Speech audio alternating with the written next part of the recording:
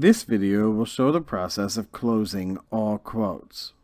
You will access this feature by entering the Sales Processing, Quotation Proposal Maintenance. Once you have entered the Quotes module, you will need to filter the quotes of which you wish to close. If you do not filter the results and click Close All Quotes, you will close every last quote which is irreversible. Select a filter. Typically, you search by quote date or a particular customer. I will search by quote date. Choose a start and end date. Click Add Filter. Click Filter. Now you should only have the quotes open during this time frame.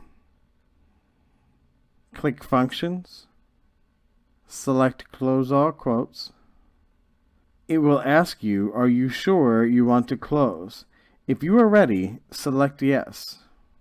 It will ask you, do you want to continue?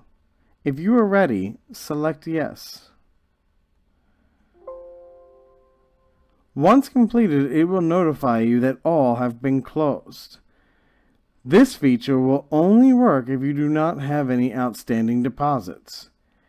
In the event you need to access one of these closed quotes, please search closed quotes and copy to a new quote.